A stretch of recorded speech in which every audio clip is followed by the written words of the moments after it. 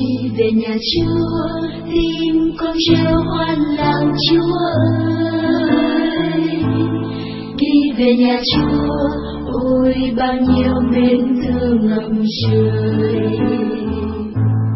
Lạy Chúa, đi về nhà Chúa, tim con reo hoan làng Chúa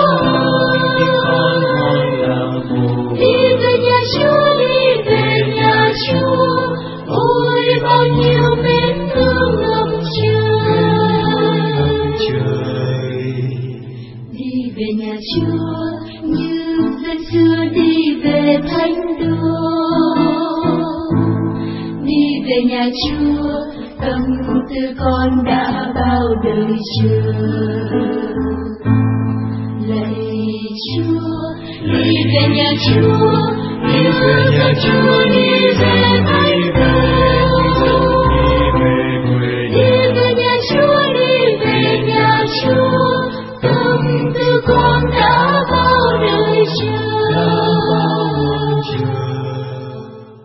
Bài trích phúc âm theo Thánh Gioan, chương 2, từ câu 13 đến câu 22. Lễ vượt qua của dân Do Thái gần đến, Chúa Giêsu lên Jerusalem. Người thấy ở trong đền thờ có những người bán bò, chiên, chim câu và cả những người ngồi đổi tiền bạc. Người chấp dây thần làm roi, đánh đuổi tất cả bọn cùng với chiên bò ra khỏi đền thờ.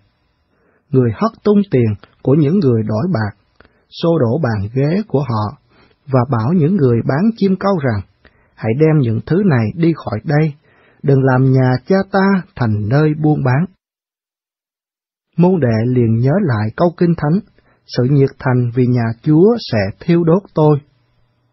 Bấy giờ người Do Thái bảo người rằng, ông hãy tỏ cho chúng tôi thấy dấu gì là ông có quyền làm như vậy. Chúa Giêsu trả lời, các ông cứ phá hủy đền thờ này đi, nội trong ba ngày, ta sẽ xây dựng lại. Người Do Thái đáp, phải 46 năm mới xây được đền thờ này, mà ông, ông sẽ xây dựng lại trong ba ngày ư. Nhưng người, người có ý nói đến đền thờ là thân thể người. Vì thế, khi Chúa Giêsu từ cõi chết sống lại, các môn đệ mới nhớ lời đó, nên đã tin kinh thánh và tin lời người đã nói.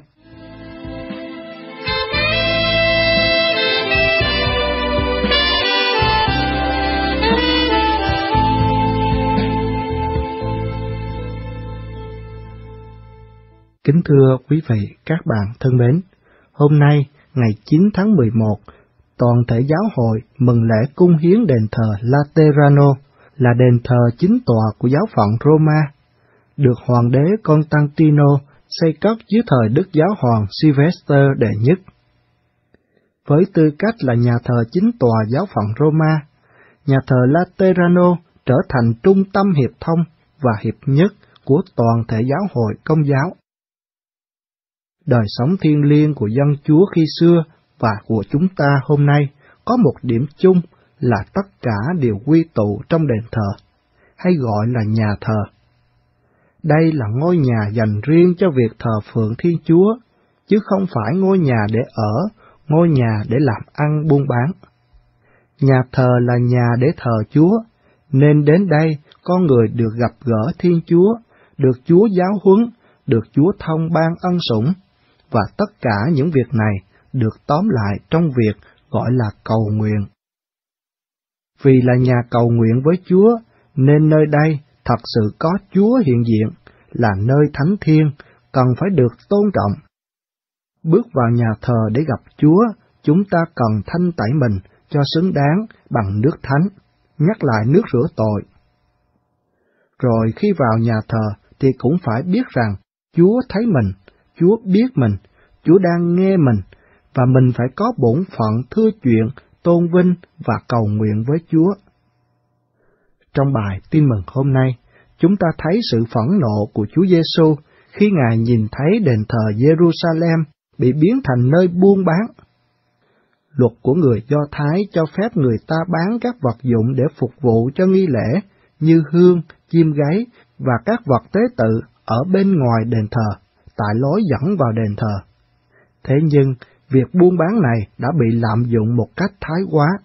Họ lấn vào cả bên trong của đền thờ.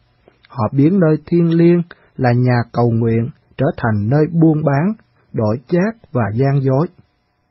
Chúa Giêsu không ngần ngại lật tung tất cả và đuổi những người buôn bán ra khỏi đền thờ. Ngài không sợ đụng chạm đến quyền lợi của họ, và Ngài cũng không sợ bị thiệt thân. Ngài làm việc đó để thanh tẩy đền thờ. Ngài còn muốn thanh tẩy triệt để hơn, không chỉ là đền thờ Jerusalem, mà còn muốn người Do Thái và mỗi người chúng ta hãy biết thanh tẩy tâm hồn mình cho xứng đáng để thành nơi Chúa ngự. Như lời Thánh Phaolô đã nói, nào anh em chẳng biết rằng anh em là đền thờ của Thiên Chúa và Thánh Thần Thiên Chúa ngự trong anh em sao? Ngày xưa, khi thấy đền thờ Jerusalem bị xúc phạm, thì Chúa đã rất nổi giận rồi. Huống chi ngày nay, khi thấy thân xác và linh hồn mỗi người chúng ta là đền thờ thiên liêng của Chúa, lại bị xúc phạm, lại bị làm ô uế bằng những tội lỗi, thì Chúa sẽ nổi giận biết là giường nào.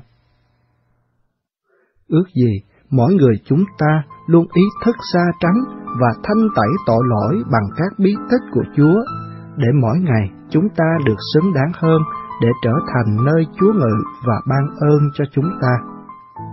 Amen. Đi về nhà Chúa, tim con reo hoan làng Chúa ơi. Đi về nhà Chúa, ôi bao nhiêu mến thương ngập trời. Lạy Chúa, đi về nhà Chúa, tim con reo hoan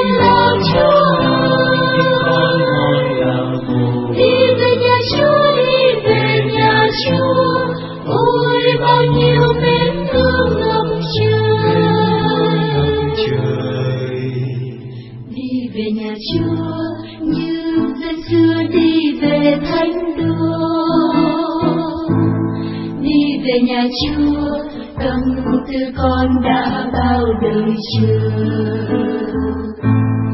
Lạy Chúa, đi về nhà Chúa, đi về nhà Chúa, đi về